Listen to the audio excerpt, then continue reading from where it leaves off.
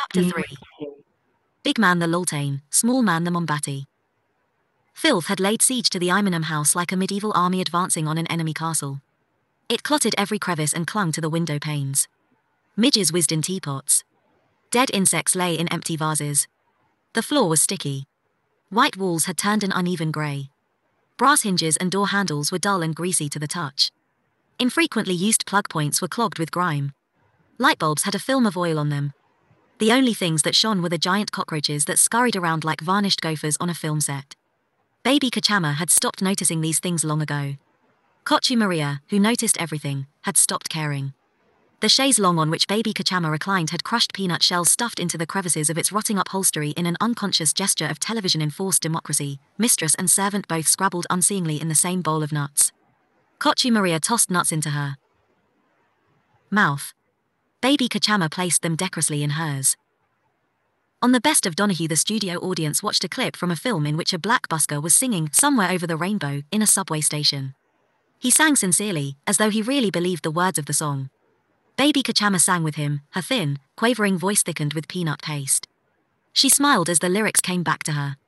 Kochu Maria looked at her as though she had gone mad, and grabbed more than her fair share of nuts. The busker threw his head back when he hit the high notes, the where of somewhere, and the ridged, pink roof of his mouth filled the television screen. He was as ragged as a rock star, but his missing teeth and the unhealthy pallor of his skin spoke eloquently of a life of privation and despair.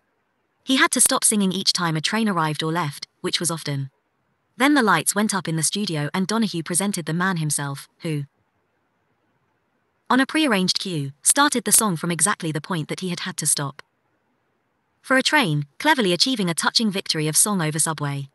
The next time the Husker was interrupted mid song was only when Phil Donahue put his arm around him and said, Thank you. Thank you very much. Being interrupted by Phil Donahue was, of course, entirely different from being interrupted by a subway rumble. It was a pleasure. An honor. The studio audience clapped and looked compassionate. The busker glowed with primetime happiness, and for a few moments, deprivation took a backseat. It had been his dream to sing on the Donahue show, he said, not realizing that he had just been robbed of that too. There are big dreams and little ones. The God of Small Things by Arundhati Roy 43. Big man the Laltain Sahib, small man the Mombatti, an old coolie, who met Estha's school excursion party at the railway station, unfailingly, year after year, used to say of dreams. Big man the lantern. Small man the tallow stick.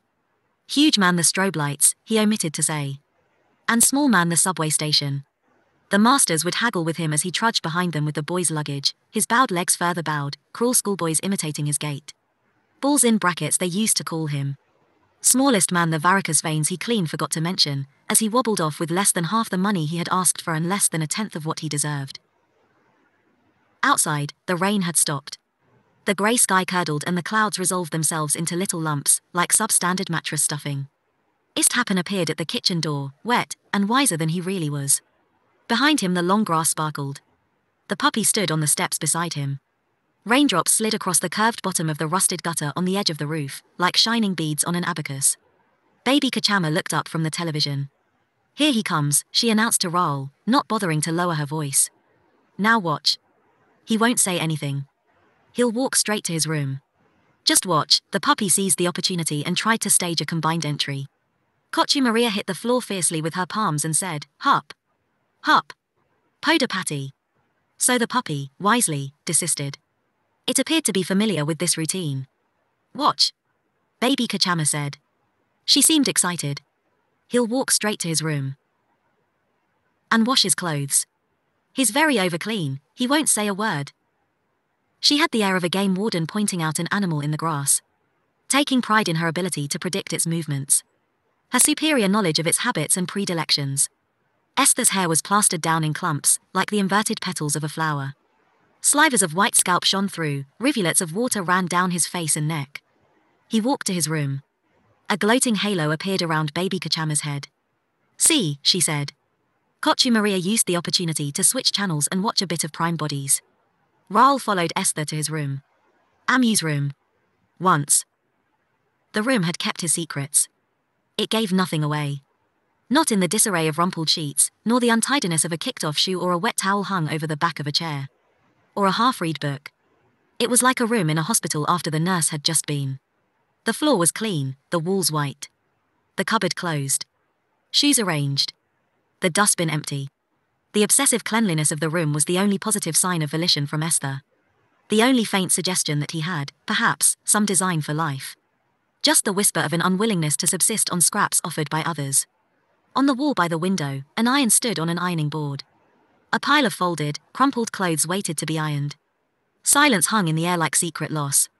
The terrible ghosts of impossible to forget toys clustered on the blades of the ceiling fan. A catapult. A Qantas koala, from Miss Mitten, with loosened button eyes. An inflatable goose that had been burst with a policeman's cigarette. Two ballpoint pens. With silent streetscapes and red London buses that floated up and down in them.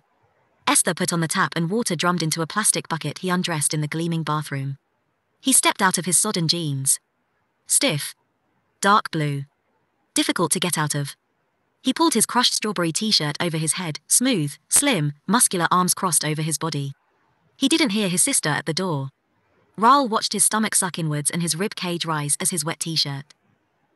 The God of Small Things by Arundhati Roy 44 peeled away from his skin, leaving it wet and honey-colored. His face and neck and a V-shaped triangle at the base of his throat were darker than the rest of him. His arms too were double-colored. Paler where his shirt sleeves ended. A dark brown man in pale honey clothes.